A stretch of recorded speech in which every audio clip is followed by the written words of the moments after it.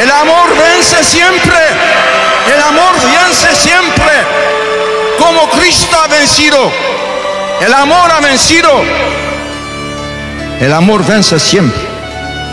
Aunque en ocasiones, ante sucesos y situaciones concretas, pueda parecernos impotente.